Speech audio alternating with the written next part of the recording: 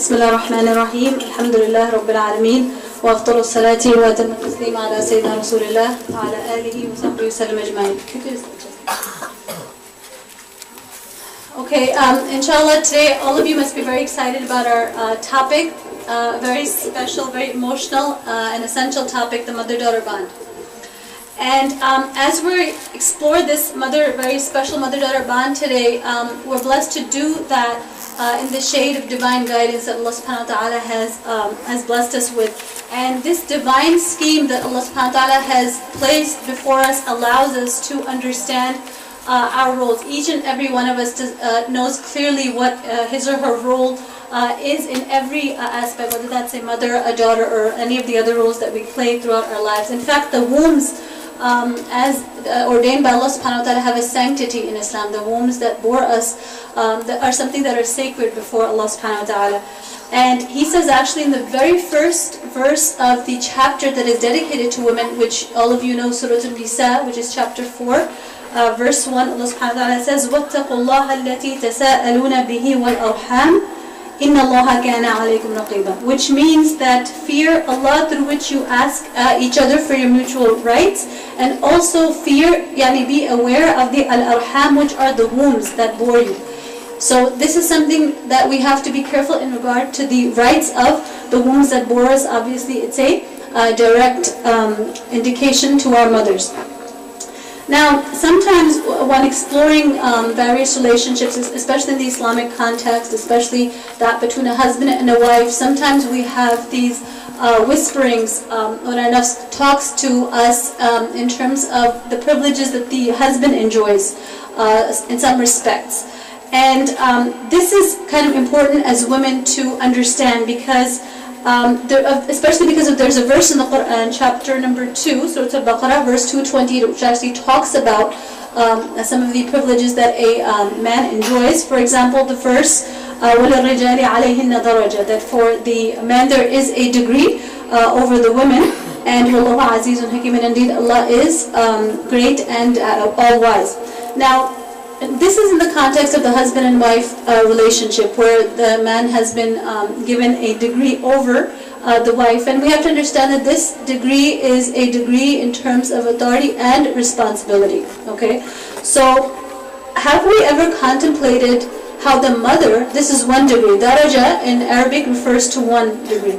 Have we ever contemplated how the mother has been given three degrees over the father and this is what the Prophet ﷺ actually has told us in the hadith where we, which we all know about when a man came uh, to the Prophet ﷺ asking about who had the uh, most right over his companionship.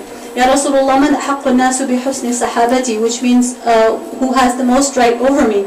And the Prophet ﷺ uh, said, Ummuk, right? The famous reply, your mother. And he asked, Thumma then who? And he said, your mother. And then he asked, who again? And he said, your mother. And finally, the fourth time, he said, your father. And this is uh, an authentic uh, narration. Now, what are some of the reasons uh, for this favoring of the mother over the father? Some of these uh, reasons are very beneficial uh, for us to contemplate, especially in becoming better daughters. Um, and, the, and, we're going to look directly at the Quran. The verse uh, is in front of you, what the Quran itself says about the brave struggles of a mother in Surah Al-Luqman. Verse number 14, Allah subhanahu wa ta'ala says, وَوَصَّيْنَا الْإِنسَانَ بِوَالِدَيْهِ حملته أمه وهنا على وهن وفصاله في عامين أن أشكر لي ولوالديك And the verse is very interesting because it starts out by saying that we have exhorted the human being about his parents, yani the mother and the father. But then who does it mention? The verse mentions only the mother. There's no mention of uh, the father or his service. The verse only mentions, as you can see, the um, mother who bears him weakness upon weakness, and then his uh, feeding, yani the nursing stage is for two years that you should be grateful to uh, me, referring to Allah subhanahu wa ta'ala himself, and to your parents. Now, the verse mentions two aspects that every mother goes through, which is that of bearing the child, which is pregnancy, uh, or rather before she bears the child, the period of pregnancy, and then the period of breastfeeding or nursing. What is between the two? That the verse does not mention. That is obviously implied after pregnancy and before uh, the breastfeeding is the period of the actual labor that the mother has to go through to bear the child and bring it into the world. So these are the three stages that some scholars have referred to, which give the mother those three ranks that she has over the father, because obviously does not he cannot go through any of these. And I just wanted to um, cite something on the next uh, slide on the on labor, which is implied in these three verses and as part of in this verse and as part of the three degrees on uh, what labor pain is kind of like. And I don't want to scare those of you that have not gone through the experience. Uh, I apologize if I do that. But labor pain, this is in an article by uh, Andrew Van Zender. He says labor pain is among the most severe pain human beings experience and compares in its intensity to severe cancer pain or pain from the amputation of a digit. I apologize for the unmarried ones among us. Labor pain is described as intolerable in about one third of women. So really it's after experiencing labor that you realize how truly no one else can do for you what your mother has already done. And you didn't even know it. You had no idea. No one can do for what she has already done, and you can never do for her what she just did for you before you were even born, before any of the other many endless duties that she will now execute for you or even started. So this is um, why, you know, we're talking about the pedestal. Why does Islam place the woman on the pedestal that she is? This is, these are some of the reasons. Another uh, is the extra dimension. This is uh, point number two in terms of why she has this extraordinary rank. It's the extra dimension of child rearing itself, of raising the child itself. For a good mother, this is called tarbiyah, right? She's doing tarbiyah of her uh, children, tarbiyat al-awlad, raising the child in a good manner. And for the mother who's not so skilled, it's just having to deal with the child. Right? So either you're doing it well or you're just dealing with them. And either way, the way the mother experiences dealing with the children a father can never have to experience that unless he's a single dedicated father. And that's, that's a different discussion. The birth of a child completely changes the life of the mother and it overtakes it really uh, to be to be realistic overtakes her life yani this is the greatest complete total intrusion of the highest degree into another's life the way a child uh, the way the impact uh, of a child is in the mother's life he or she does not spare her in sickness in weakness, the late hours of the night, the early hours of the dawn, when she is forced to, uh, to rise to soothe her, uh, her crying infant. And if it's a breastfeeding infant, the father can't do much anyway. Many infants uh, in the early months are exclusively breastfed, so sometimes the fathers are in blissful sleep even in another room, and we've seen this uh, happen a lot. So, you know, sometimes uh, we see that the father's schedule, the new, new father's schedule is not even altered that much, whereas um, the mother's life has changed forever. Now, should this uh, frustrate us as women? You know, as weak human beings, it is frustrating at times. But as believing women, what we have to do is strive to remember that no one else can really do for the child what you are able to do for it. No one else can meet its needs uh, the, the way a good mother uh, can meet its needs, the way she can nurture and care for it. And, uh, you know, and this is kind of talking about the daraja, the one daraja that the husband has over the wife and the mother uh, has over the father, trying to understand all of this together. Just like uh, no one else can do for the child what the mother can do for it, especially in its infancy, in the same way, the way a husband can, a good husband, the way he can offer protection support for a wife, no one else can really do for her. So this is just trying to understand, uh, you know, the grand scheme of things, the way Allah subhanahu wa ta'ala has, um, you know, divided uh, and raised some uh, people in ranks over others. Now, and this is part of the mizan that Allah subhanahu wa ta'ala has established. We know this from Surah Al-Rahman, وَالسَّمَاءَ رَفَعَهَا وَوَضَعَ الْمِيزَانِ أَلَّا تَطَغَوْا فِي الْمِيزَانِ That you should not upset the balance that Allah subhanahu wa ta'ala has placed in relationships, in favoring some over others rather, uh, accepted as part of His uh, wisdom. This is why we have to honor uh, the mother the way we do. Uh, this is very important for uh, daughters to uh, be reminded of. Um, because of her exceptional service, and devotion. She has this extra rank and she deserves the utmost respect, uh, honor, and dedication. Now that was just a brief uh, introduction about the mother and where she stands in Islam. Now, why are we talking about mothers and daughters today? The mother-daughter bond, the mother-daughter relationship. What is the significance of this practically uh, for each and every one of us? And the first um, significance, which is obviously um, most important, is that she is one of the uh, paths to Jannah obviously. This is the first thing that uh, is most important to all of us. The reason we're here is for Allah subhanahu wa ta'ala to test us. لِيَبْلُوَكُمْ أَيُّكُمْ أَحْسَنُ عَمَلًا Allah subhanahu wa ta'ala tells us in Surah Al-Mulk, this is the purpose of our creation, to see which one of you is best in deeds, and this is the um, one of the paths, one of the ways we can earn uh, the paradise uh, that Allah subhanahu wa ta'ala has prepared for the believers. Once you know that a man came to the Prophet ﷺ and asked him, uh, what uh, I, I want to participate in jihad, how can I do that? The Prophet ﷺ asked him, do you have parents? And he said, yes. And he said, فَفِيهِمَا فَجَاهِدْ Which means that in them exert yourself. Yani your jihad is in them, is in serving them. So undoubtedly this is one of the um, uh, direct paths to, uh, to Jannah. Another um, aspect why this bond is significant, why we have to talk about it, is because for women or girls, this uh, relationship, the kind of relationship that she has with her mother, sets the tone for future relationships. It affects every other significant close relationship she will ever enter into for the rest of her life. And this is actually based on uh, studies conducted in various um, uh, universities. Associate Professor Dr. Rastogi, she's a licensed um, uh, marriage and family uh, therapist at the University of Chicago. She mentions this is the most significant intergenerational relationship. Yani between two generations, this is the most significant bond that there can possibly be. The, the, she, uh, Dr. Linda Mintle mentions the mother-daughter relationship is the perfect arena to develop and practice relationship building skills that form and shape every other relationship in a woman's life because the mother-daughter bond is such a close one. So there's no way that this bond is not going to affect other bonds that you will form um, in the future. And in the Islamic context, having a good, uh, close uh, bond with your mother, this is one of the most beloved acts to Allah subhanahu wa ta'ala. What they called um, good, close relationships and bonds, in Islam we have a term for it, it's called Birr al-Walidain, right? Goodness to parents. And of course, mothers have the extra uh, three degrees over um, over the father.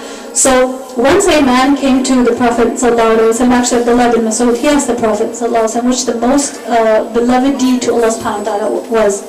And after mentioning the prayer, salah in its proper time, he said, This is one of the most beloved acts to Allah subhanahu wa ta'ala. And if we look at the flip side of that, to disobey them, to displease them, to dishonor them. This is one of the greatest kaba'ir. This is one of the greatest uh, acts of uh, sinfulness and disobedience to Allah subhanahu wa ta'ala. Once a, um, the Prophet was asked about the greatest sins. And after mentioning shirk, second only to shirk was uquq al-walidain, which is being disobedient, displeasing, rebellious uh, to parents. So for us, preserving a close uh, mother-daughter relationship is not just, you know, simply a matter of, of, just, you know, some significance. It's a matter of akhirah and a matter of jannah for us. Now let's talk about uh, real mothers, real mothers today. Now, the mother is the first teacher, right? Many say she's the first school. We have to uh, obviously benefit from her wisdom. It's a, it's a great loss to not be able to benefit from, you know, the experience that our uh, mothers have. And it's, I think, a huge accomplishment on the part of a mother if she's now able to pass on all of her talents, all of her skill and knowledge to her daughters. This is really not happening. Um, we have, you know, we can have very talented mothers at times, but you will see their daughters, they have not really absorbed and been uh, given uh, of that training. So what is going on? What is uh, lacking? Why is this uh, baton not being passed on? Now we talked already about the great status that a mother enjoys in Islam. But we want to also be realistic now uh, about what the current generation is, is, is receiving in terms of tarbiyah. You know, uh, we don't want to play a blame game right now, okay? But we have to understand why families are falling apart. Why do we have a Muslim marriage crisis? Why has the divorce uh, rate skyrocketed? uh, it's reached a record high among Muslims where it's about to equal the national regular average of the non-Muslims. Why is that? Why is it with increased education and technology, the ability to cope with reality is decreasing among our youth, especially in relationships? Why is there less tolerance and stamina in dealing with relationship dissent? When there's dissent, disagreement, this just ends in a breakup, breakdown. So in a culture of a supposed increased freedom for women, the single mom, which now there are more single moms in America than there were ever before experienced in recorded American history. The, the number of single moms we have today. So why is it with increasing freedom we have more of these types of moms, many of which are not Muslim. You will find an increasing number of single Muslim moms um, as well. So are they really more free in this culture of greater uh, freedom? Or is she more constrained in the overburdening cycle of single motherhood? It's hard enough to raise children on your own with a supportive husband and a stable uh, family household. How is the single mom coping with this? Now, mothers have to realize the various levels at which training is now due um, for their daughters if we want to somehow try to control the crisis, which is why it's very important that we understand the significance of these types of topics because it's really impacting our future um, in, in, in North America. There are many frontiers that the mother now has to do tarbiyah at because there's so many more frontiers of challenge that she faces in the context we're living in. We have to train them to be devout Muslimat. This is our first priority. Then they also, at the same time, be effective household managers, affectionate caretakers, not forced into taking care, affectionate caretakers, diligent students of Quran and knowledge, obedient and supportive uh, spouses, productive builders, contributors to society. I mean, the list goes on and on and on. And, and you know, I don't want us to lose hope because we only have to look to the past to see that this was actually done. Many, many times throughout the history of Islam, we see, you know, innumerable shining examples of female scholarship and uh, women who were exactly this and so much more. In fact, um, there's a great compilation by uh, Sheikh Nadwi. He talks about the female scholars of hadith in the past and he records no less than 40,000 muhaddithat. Did we ever even hear about them? We probably don't even know a single name. But it has happened and it can happen again. And what is lacking in getting from that point, you know, to, to moving forward? What is lacking in between? It's tarbiyah. Inadequate tarbiyah of both boys and girls. We're not going to point, you know, the, a finger at the girls only. Of both, both, both boys and girls, the tarbiyah is lacking before marriage, which is why they're falling apart. And then there's a lot of misguided nasiha or advice given to couples that are in trouble. Unfortunately, a lot of times by their own families. This is why we are really uh, experiencing this uh, awful Muslim marriage crisis. Now, what we also want to look at is what happens when this mother-daughter bond, the significance of which we touched upon, what happens when it's not healthy? When it's not a healthy, close, affectionate bond? Well, obviously, it's going to lead to multiple problems. You know, we don't have to wait till akhirah, till Yawm al-Qiyamah to see the evil effects of, you know, having been bad to your mother. Um, the punishments of, of that begin in dunya. This is actually one of the few sins, being disobedient to parents, this is one of the few sins that um, its punishment is given in dunya, before akhirah. Now, one of the most recent manifestations uh, that are plaguing us here today. Number one, the first problem, and this is what I want to talk about, tarbiyah pitfalls. These are mistakes you don't want to make as a mother. And so I'm, I'm, I'm, very glad that young mothers are here today. The first thing is that when your tarbiyah is not Islamically oriented from the start. A lot of times mothers come to me, the daughter is 17, 18 years old, sister can you please talk to my daughter about wearing hijab? And I look at the mother, she's not wearing hijab. And you know, it boggles my mind. And you know, I said, now you're asking me now, after 17 years have passed, it's it's too late. It's like you know, 10 years too late. So it really has to start from the beginning. This is what the Prophet has guided us to. He has told us that we have to raise our children from the very beginning on uh, the recitation of the Quran, on his love and the love of his family. Yani to have them oriented in the right direction from the beginning. This is why Salah is mandated at such an early age.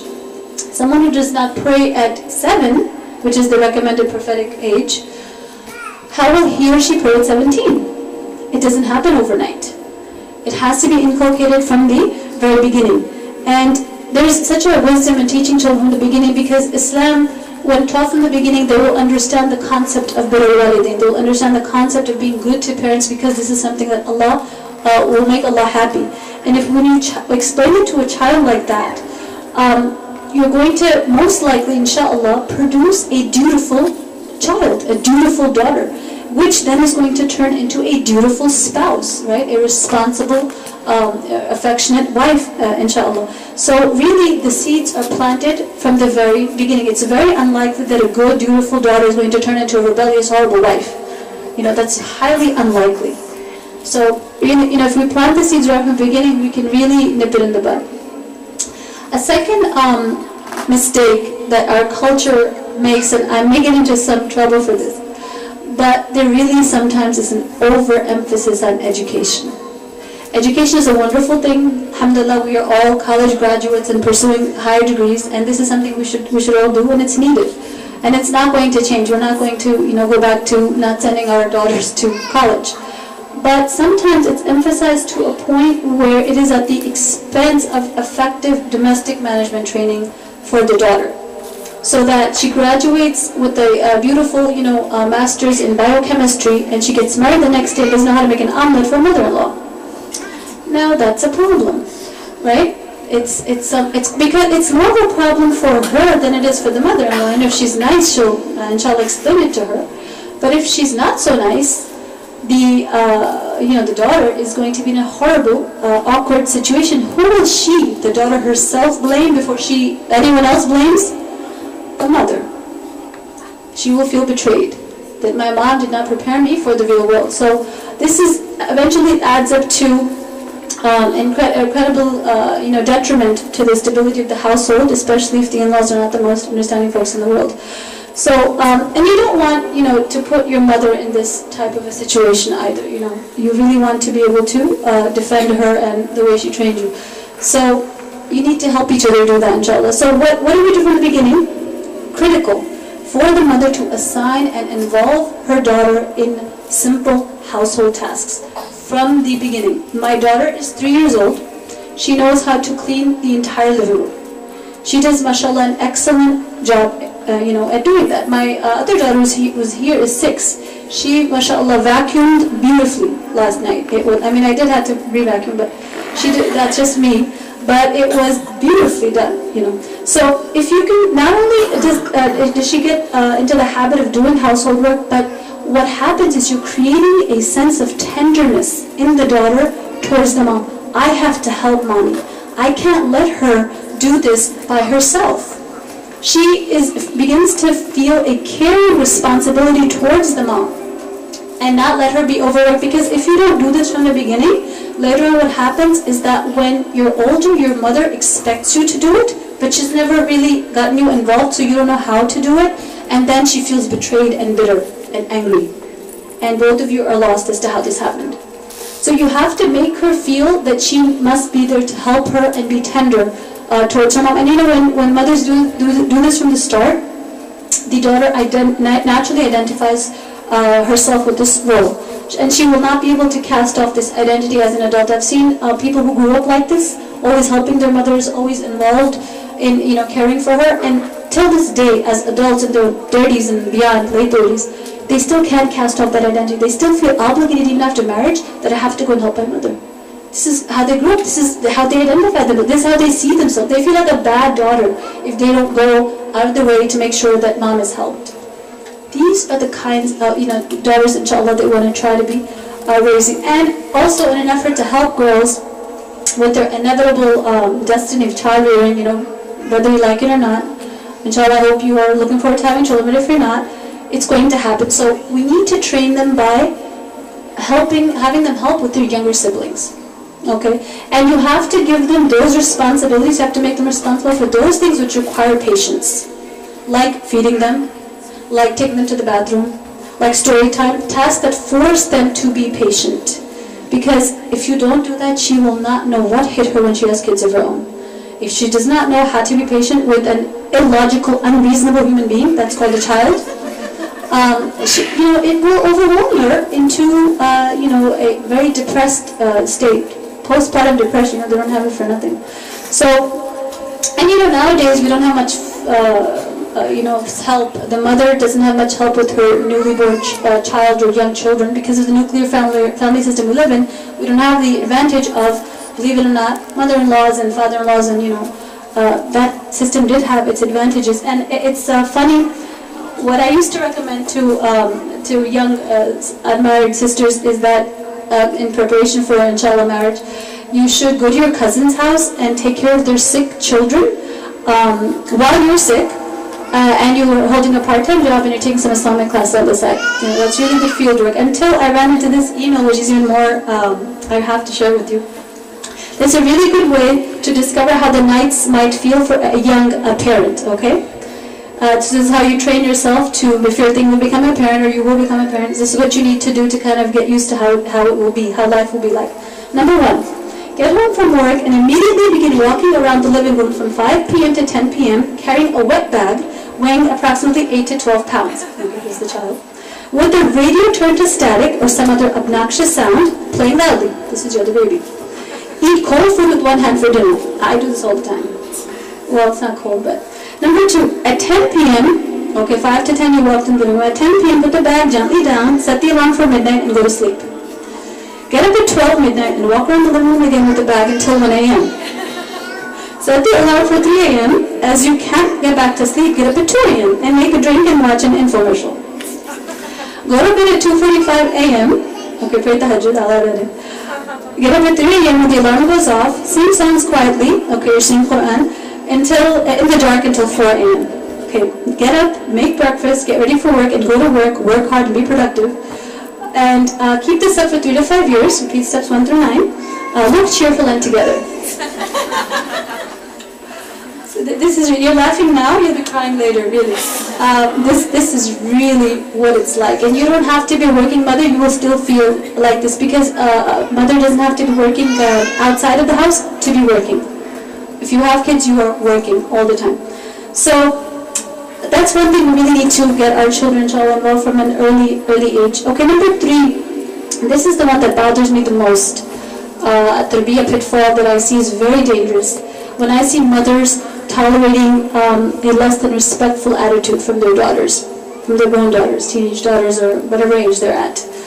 This has a horrible impact on their tarbiyah. You think you're being nice to them? You think you're letting them off easy, you're being tender to them? You are destroying them. If your uh, daughter cannot respect her mother, how in the world is she going to respect her spouse? where she doesn't even have that the type of bond and tenderness and closeness which uh, you know or feelings that a uh, daughter has towards her mother. She doesn't have the, the stranger she you know she gets married to, someone you haven't known for 20, 25 years of your life. There will not be um, the required uh, respect and demeanor if she is disrespectful to her, uh, to her mom. So this is where mothers, I'm making an appeal to mothers. Please use your God-given parental authority to not tolerate that which cannot lead to any good. For her now or for her later. And, you know, if, if we allow this to happen, daughters who never submitted or respected parents, and on top of that, they, they live in this culture of independence. On top of that, they're college educated. Good luck with uh, them accepting spousal authority. It's, it's not going to happen. And, it's, and this is why we have the Muslim marriage crisis. This is part of why we have uh, you know, divorce rates. It, it, just does not work out. Um, there's never, and there's, because the daughter hasn't gone through practical, you know, training uh, in the field. So when moms fail in this duty of disciplining, um, she, mom winds up uh, losing, feeling dis, uh, you know, respected and appreciated. What happens to the daughter? The daughter is doubling her loss. How? Before marriage, she is incurring the great sin. The, it's one of the kaba'ir, one of the major sins uh, what the Prophet told us about the seven major sins, this is one of them. Only after shirk is to be disobedient to parents. So she's, number one, incurring that great sin of disobedience and disrespect. And number two, she's lost the um, golden opportunity of serving her parents in the prime of her youth, when she was still unhindered by the multiple responsibilities of her own home when she's married and has one. And this is what the loss she experiences before marriage. What happens to her after marriage? she's unable to accept or uh, respect, submit to spousal authority. It, it's not going to happen. And depending on, you know, the type of match she ends up with, some are, you know, um, loose about it, but others, it, it will not work. So this is something that uh, mothers have to really uh, think about. So is this lack of tarbiyah, and we have, daughters have to think and mothers have to think, is this lack of tarbiyah, this consistent toleration for disregard of the moms, is this what Allah subhanahu wa ta'ala really has wanted us to inculcate in our children? What does Allah subhanahu wa ta'ala want for the daughters to have? This is what we turn to next, the dutiful, uh, the dutiful daughter. Surah Al-Isra verses 23 to 24 the translation of which is, Your Lord has decreed do not worship anyone but Him. Be good to your parents, and should both or any one of them attain old age with you, do not say to them, even if, it's translated as if, yani of. Neither should chide them, but speak to them with respect and be humble and tender to them and say, Lord, show mercy to them as they nurtured me when I was small. Now, this is a, you know, a beautiful um, verse uh, of the Quran which talks about the attitude that daughters, now I'm talking to the daughters, this is the type of attitude that we need to have towards uh, our moms. And you know, it is said, the, the verse mentioned, do not say even uff to them. The scholars have said that if there was a word that was smaller than uff in the Arabic language, Allah subhanahu would have used that. There is nothing that is smaller than uff. Yani, do not show even the slightest bit of annoyance to them when you are annoyed with them, which means it will happen this is this is the human tendency in the child. Uh, this is why Allah subhanahu wa ta'ala addresses the child to be uh, good to the parents. Never says in the Quran, Allah never says in the Quran to the mother be good to the child. Because it's already there. Allah has already placed it in her. He doesn't have to remind her. He has to remind the child, which has the opposite tendencies. To get quickly annoyed, to quickly be, easily become irritated. But no matter how annoying you think your parents or mother can be, Remember, it was not as annoying as labor, the labor you put her through. That was a lot more annoying. So this is something that um, we have to contemplate and seek Allah's reward uh, through it. And what does Allah say in this verse? وَلَا تَنْهَرْهُمَا Which means don't reproach them, don't turn them away. Don't say something to them that's going to make them turn away from you. Don't, yani don't brush them off. This is called talking back. This is what we call talking back. We're not supposed to talk back parents. And it's interesting how when you uh, try to explain to a young child, seven, eight year old, don't talk back, they won't. Under, they don't understand what that means. They're, they're just trying to explain themselves. They're just try, they're just expressing their opinion. They don't know that it's talking back. And what does Allah subhanahu wa ta'ala wants? Uh, from the daughters to, to her mom, to her dad, ihsan, ihsan towards them. This is second only to the obedience of Allah subhanahu wa ta'ala. Even to our non-Muslim mothers, once um, a sahabiya asked the Prophet ﷺ about her mother who was non-Muslim. She said, you know, my mother is coming to visit me and she's not Muslim. So how should I be with her? And he said, be good to her. The only thing you're not going to um, obey your non-Muslim mother in is uh, her shirk, right? You are not going to follow her deen, you're not going to associate partners with Allah. But in every other way, she's still your mother. She's still the one who gave birth to you. And she has many, many rights over you. So even, you know, in that regard, we cannot um, become disrespectful because I'm Muslim and you're not. You know, we can't do that to our moms or dads. Now, subhanAllah, once um, it, it, was asked about a, a person performing Hajj, and if they were to do that, performing Hajj uh, with their mother on their backs, and if that would be able to pay back the reward or the duties, the struggles of a mom, and it was said to them that they could not even pay her back for one agonizing breath that she experienced while giving birth to that child. Even if you were to do Hajj uh, with your mother on your back, and Hajj is so difficult for those of you that have done it. Um, it it's just, that's one of the most physically, uh, you know, it's a boot camp, Islamic boot camp is what it is. And to have a human being, on, uh, an adult on your back the whole time, and, that, and to do that for all the manasik, for all the rites of Hajj, and that would still not pay back one breath, that means it's impossible. When it's impossible to pay back a debt, then what is what replaces that repayment? Humility. Ihsan. Yani, it's not going to happen. I will not be able to repay. All I can do is be humble and have ihsan towards you. This is what, why Allah subhanahu wa ta'ala places only the walidain, only the parents are placed next to Allah subhanahu wa ta'ala. Yani Allah says, be grateful to me and to your parents. He hasn't, hasn't placed anyone else, not the Prophet, not any other person or group of people next to him.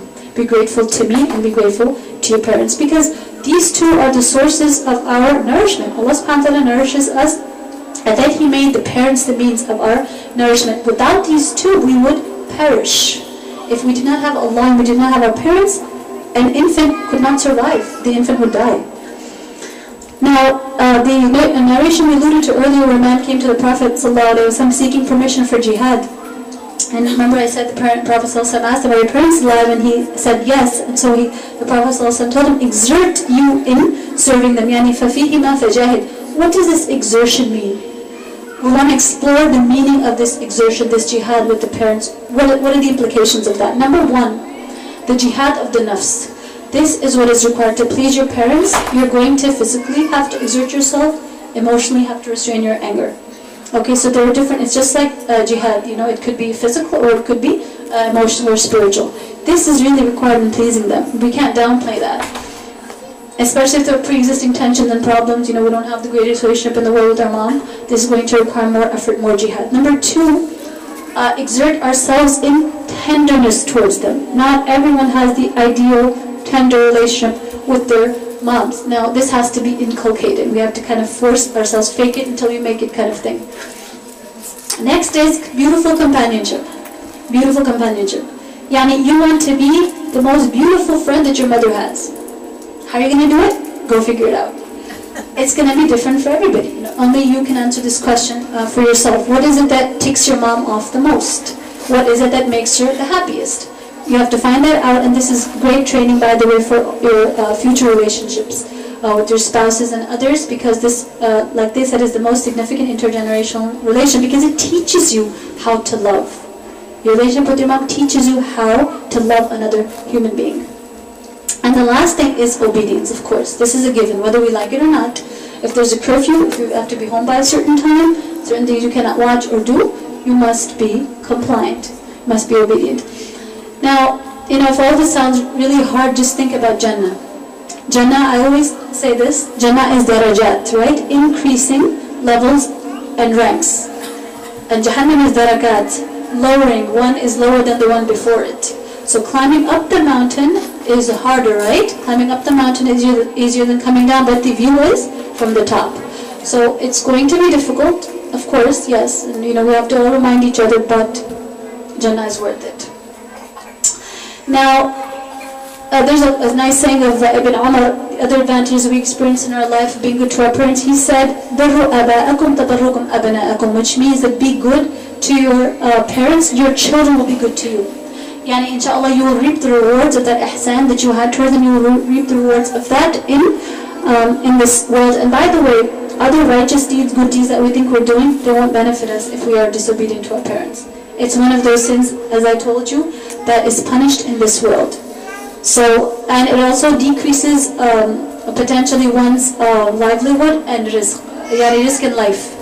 Because there's a hadith of the Prophet which means that whoever wants to increase his life and his rizq, let him uh, be good to the ties of the womb. And this is the greatest tie, that of the uh, mother. Now, we looked at um, the, the, hadith of the Prophet um, and the reason he's mentioned this is because he told us of a time where mothers would be disrespected. And there's actually hadith number two in the uh, collection of Imam al-Nawawi's Arba'in, where the Prophet forebode the coming of a time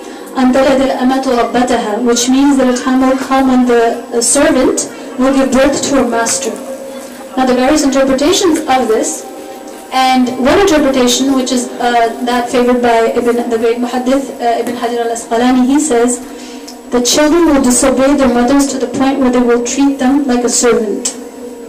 And subhanAllah, it is so painful to see this uh, happening in real life. It is one of the greatest moments of human tragedy when a grown child hurts their parent. This is the ultimate, ultimate betrayal that a person can, can do. So really we have to think about what we are doing now with our parents, how it's going to impact our uh, future life, our marriage, um, future child rearing, um, and the hurt that the mom will experience. It's something that will, you will uh, regret forever really, and we want to avoid it, inshallah, when we can. I notice, um, you know, daughters, a lot of times when they have problems with their moms, will try to justify their behavior. Note in this context, justification this context, justification will obstruct rectification. There's no way you'll be able to correct yourself, salah al-nafs, if you keep justifying your behavior. There's a time for everything, but this is not the time to justify your behavior. It will not allow you to correct yourself.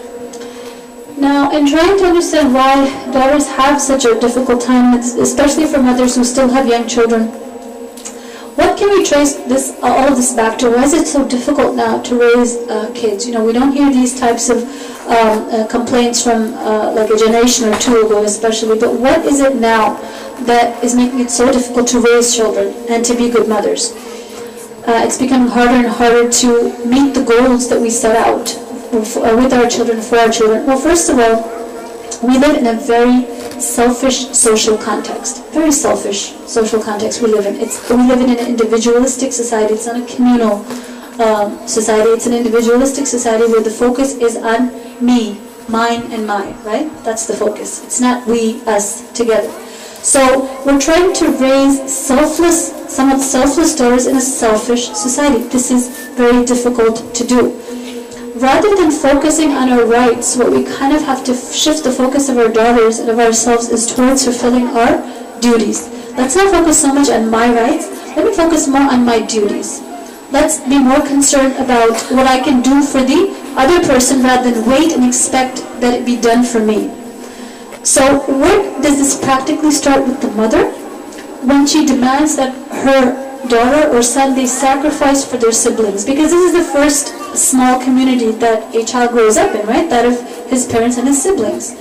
So here they need to practice for the real world, okay, under the loving, uh, gentle care of their parents. So the mom has to demand that this, um, you know, the daughter sacrifice for her brother from a young age. And this is something as simple as getting uh, the other a glass of water. You know, simple things like that will make force them to get up stop what they're doing, and feel responsible for this task. Anything that will kind of induce that type of effect, this is very important.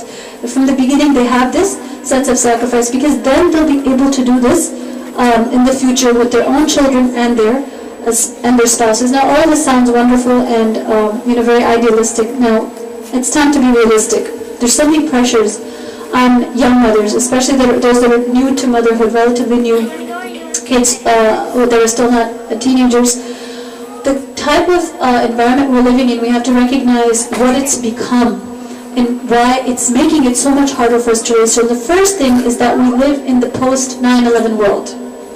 Post 9-11 world, raising children is very different from how it was for our moms.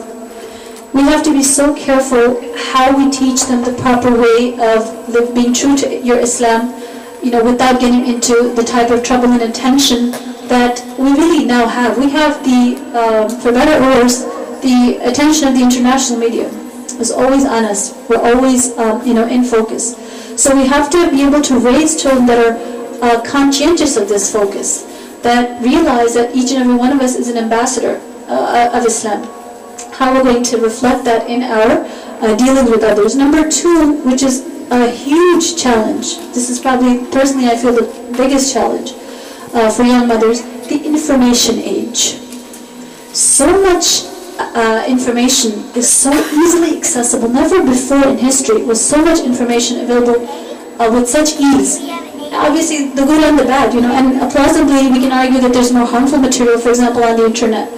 Um, only a click away. And just to tell, just to give you an idea of the uh, of what the internet has done,